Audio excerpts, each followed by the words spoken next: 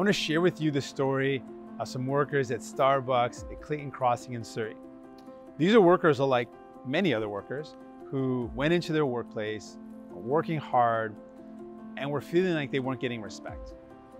They knew that their place of work was one of the busiest in Western Canada and that they were earning the company a lot of money, but they weren't seeing the benefit of that. In fact, that's a reality for a lot of workers. Corporations across the country are posting record profits, but workers haven't seen a wage increase. Workers are still struggling right now to buy food, to put food on the table, to buy groceries. They're struggling to put gas in their cars. All the while, corporations are making record profits. So what can a worker do?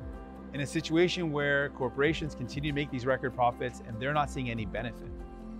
One of the most powerful things a worker can do is join a union. Everywhere we look across the world, unionized workers have better wages, have better work conditions, and have respect. So these workers in Surrey had a choice. They could continue to work hard and not get respect, or they could do something about it. And they decided to organize to mobilize, to join a union, and now they're getting respect. They're gonna get fair wages. And that's a story I think a lot of us can be inspired by. In a rigged system designed by liberals and conservatives where those at the top continue to make record profits and workers continue to suffer, we need to rise up. I believe we can do better. I believe workers can organize and get fair wages and get respect. That's why I got into politics.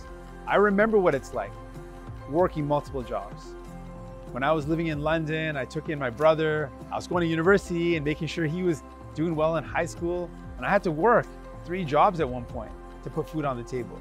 And I know how hard that is. Now, workers shouldn't have to work multiple jobs and struggle just to put food on the table. Workers should have respect and dignity, be able to earn a good living, be able to provide for their family. We can build a brighter future where people can earn a good salary, where they can earn a good life for themselves and their family. That's the fight that I want you to join me on. Let's join together and build that better Canada where workers are treated with respect, where you can earn a good living, where you can have a good job that pays the bills and helps you raise a family.